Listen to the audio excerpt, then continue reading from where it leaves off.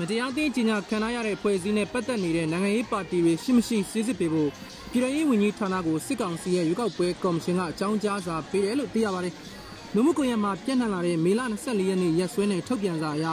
နိုင်ငံရေးပါတီများမှတ်ပုံတင်ခြင်းဥပဒေမှာပါဝင်တဲ့နိုင်ငံတော်ကိုလက်နက်ကင်ဆန့်ကျင်နေတဲ့တောင်းကျမ်းသူအဖွဲ့အစည်းနဲ့ပုဂ္ဂိုလ်တွေ ဒါမှမဟုတ်မတရားသင်းကြီးညာခံရတဲ့အဖွဲ့အစည်းနဲ့အဖွဲ့အစည်းဝင်တွေကိုဓာတ်ရိုက်ဖြစ်စေတွယ်ဝိုက်ပြီးဖြစ်စေဆက်သွယ်မှုကူညီအားပေးမှုပြုရင်နိုင်ငံရေးပါတီဖြစ်ဆက်ရက်တည်ခွင့်မရှိဘူးလို့ပြဋ္ဌာန်းထားကြောင်းဖော်ပြထားပါတယ်။မေလ22ရက်နေ့ကနေပြည်တော်မှာပြုလုပ်ခဲ့တဲ့နိုင်ငံရေးပါတီတွေနဲ့ UEC တွေ့ဆုံပွဲမှာ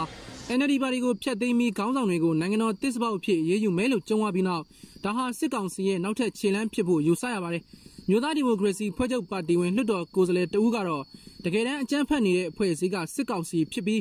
NLD ကိုဘယ်တော့မှဖျက်သိမ်းလို့ရမှာမဟုတ်ဘူးလို့အခုလိုပြောပါတယ်။အမားတို့ကပြောချင်တာကအကြမ်းဖက်အဖွဲ့အစည်းဆိုတာဘာတူလဲမတရားတဲ့အသင်းဆိုတာဘာတူလဲပေါ့ဒါကိုပြန်မေးဖို့လိုတယ်အဲ့တော့ဟိုပုံမှန်လင်းလင်းပြောလို့ရှိရင်အမားတို့ပြည်သူတန်း90ကျော်ရဲ့ရှင်ထဲမှာရှိနေတဲ့အကြမ်းဖက်အဖွဲ့အစည်းဟာအခုလက်ရှိဟာစစ်ကောင်စီပဲဖြစ်တယ်အဲ့တော့ကြောင့်လို့စစ်ကောင်စီရဲ့လက်အောက်ကနေပြီးတော့လှုပ်တဲ့ကိစ္စမှန်တယ်များအမားတို့ကအာဒါကဟိုတရားလည်းမဝင်ဘူးအတိမတ်လည်းမပြုဘူးပေါ့နော်အဲ့တော့ NLD ပါတီကို ဖျက်သိမ်းပါလားဆိုရင်ငကိုကလေးက အာနာစသိန်းတွေကဒီလန်းစင်လာတော့မယ်ဆိုတာ အမတို့က သိပြီးသားပဲ သို့ပင်မဲ့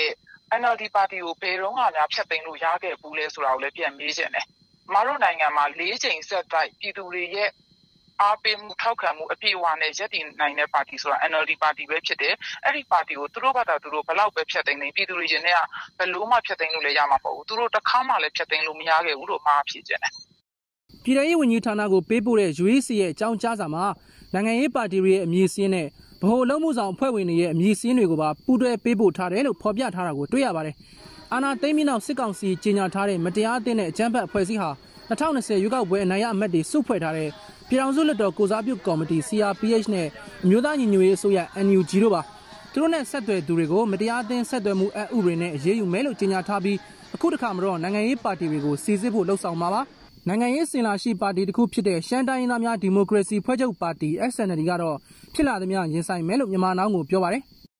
ကျွန်တော်တင်တဲ့အရေးနဲ့ဆိုတော့စလိုက်တော့လေကွန်ဆယ်လို့ပြောဒီကောင်အရေးကြီးလို့ရတယ်ဒီမှာဘာမှထောက်ထားမရှိဘူးတော့ဒီဒေးကြီးလို့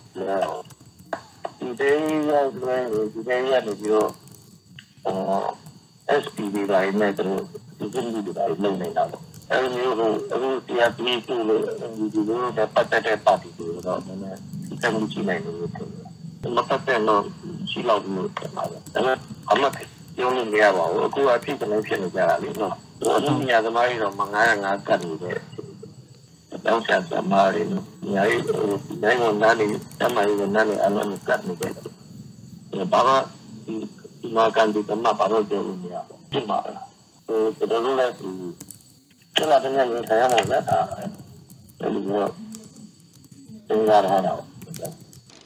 ပြီးခဲ့တဲ့2020ရွေးကောက်ပွဲမှာမြို့သားဒီမိုကရေစီဖွဲ့ချုပ်ပါတီ NLD ဟာတနိုင်ငံလုံးတိုင်းတာနဲ့တောင်မြို့ကမ်းပြိုအနိုင်ရခဲ့တဲ့ပါတီဖြစ်ပြီးလွှတ်တော်တွေပြန်ဆမဲ့ဖေဖော်ဝါရီ၁ရက်နေ့မှာမဲမတမာမှုတွေရှိတယ်လို့ဆိုတဲ့အကြောင်းပြချက်နဲ့ပါတီခေါင်းဆောင်တွေကိုဖမ်းဆီးပြီးစစ်တပ်ကအာဏာသိမ်းလိုက်တာဖြစ်ပါတယ်။ အာဏာသိမ်းပြီးလေးလအတွင်းအပြစ်မဲ့ပြည်သူ840ကျော်ကိုတပ်ဖြတ်ခဲ့ပြီး9500ကျော်ကိုဖမ်းဆီးခဲ့တယ်လို့နိုင်ငံရေးကျင်းသားများကူညီစောင့်ရှောက်ရေးအသင်း AAPP ရဲ့စီးရင်ရသိရပါတယ်ခင်ဗျာ။